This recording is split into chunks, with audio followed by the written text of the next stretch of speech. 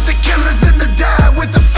Go hard for my people, never bow behind gates. Live free in the Ladies and gentlemen, and welcome back to another edition of the Unstoppable Dominators Taste Test Review. Today we are about to try Pop Tarts Frosted Cookies and Creme. I got one on the plate right now. It's cooked. And one right here is not cooked. We'll see how they are with cooked and not cooked. This is its taste with cooked.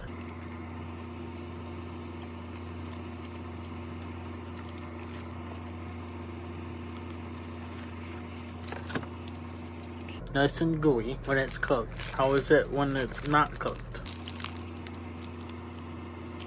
Not nice and gooey. I'd rather have the cooked one.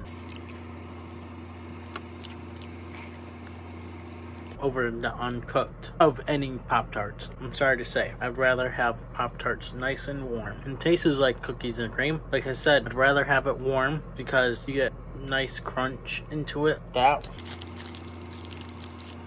you don't. Yes, you do. Anyways, guys, thank you guys for watching.